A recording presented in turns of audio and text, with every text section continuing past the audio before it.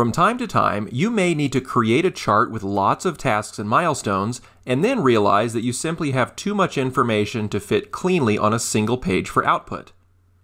This video will explain how to use OnePager's multi-page features to customize and manipulate your chart layout so that it can be divided into several pages or optimized to fit on a single page layout as necessary.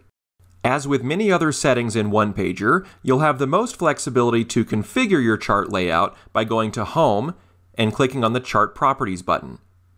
All of the page layout settings are covered in the Page Layout tab. At the top of the Page Layout tab are the settings that control your document size. This is not to be confused with page size.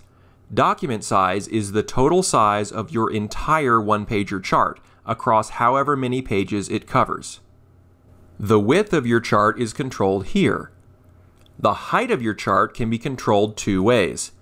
You can either set a fixed height for your overall document, or you can specify what the size of each row in your chart should be and let OnePager automatically calculate the height from there. We strongly recommend picking a default row height. This way, as you add and remove tasks from your chart, OnePager will have the ability to increase and decrease your overall document height based on the total number of tasks in your chart.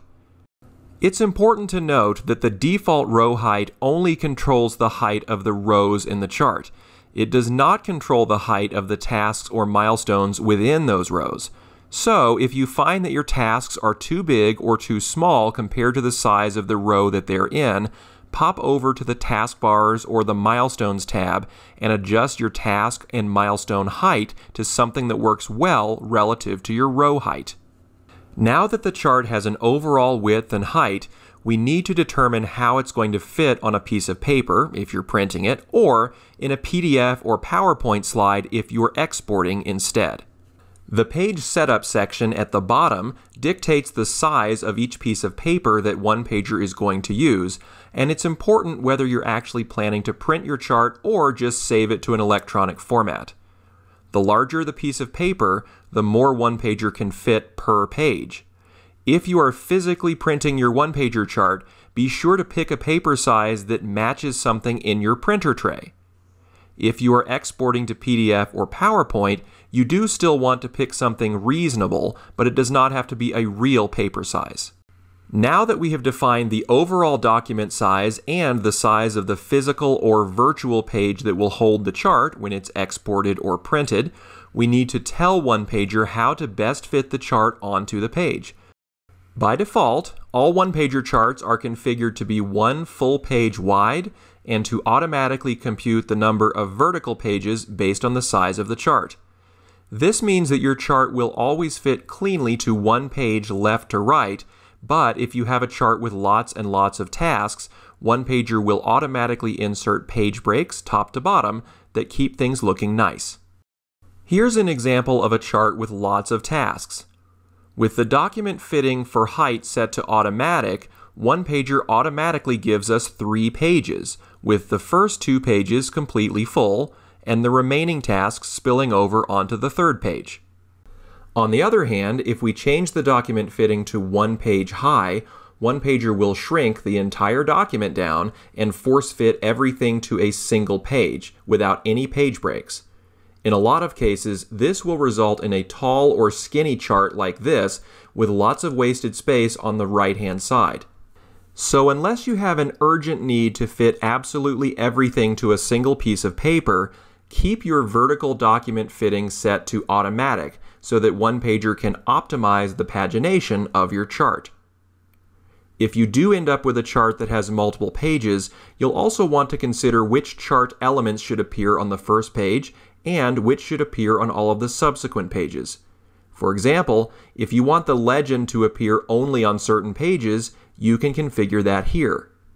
For other simpler chart elements like the title and the time axis, you can decide whether they should appear on all pages or just the first page. In this example, you will see that the repeat settings for the legend, title, header, and footer are grayed out and cannot be changed.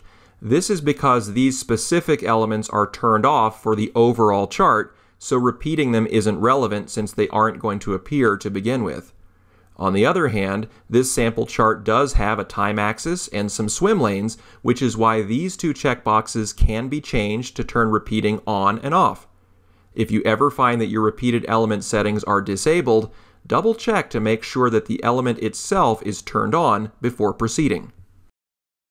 While most of the page layout settings of a OnePager chart are something that you will configure through chart properties, there are a few shortcuts that we've made a little bit more accessible. To get there, click on the Page Layout tab of the ribbon. You'll see that a number of these settings are the same as the ones that we just discussed in Chart Properties. We'll focus on the settings that are unique to the ribbon. The first group you'll see here are the view modes. The normal view is the default view and is what you're probably used to already. If you want to see where your page breaks are and see a watermark of each separate page number, then switch to the page break view mode.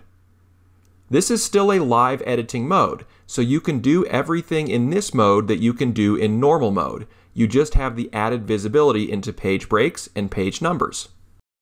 Print Preview mode will show you exactly how your OnePager chart will look once it is printed or exported. Note that while we are in Print Preview mode, some of the editing options are grayed out. To enable these options again, you can flip back to either the normal or the page break modes.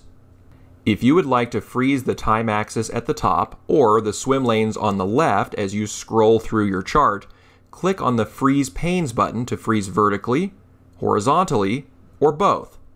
This will allow you to maintain a vertical or horizontal reference point as you scroll through your chart for editing. When you're ready to stop scrolling, you can turn frozen panes back off. The Page Breaks button lets you manually insert vertical or horizontal page breaks. Vertical page breaks separate your chart into multiple pages top to bottom, while horizontal page breaks separate your chart into multiple pages left to right. Once you've selected the type of page break to insert, simply move your mouse cursor to where you'd like to insert the page break and left-click the mouse button. Page breaks that you created by hand can be removed by returning to the Page Break dropdown and choosing the option to remove all inserted page breaks. If you want to remove all kinds of page breaks, including the ones that OnePager might have created automatically, choose the Remove All Page Breaks option instead.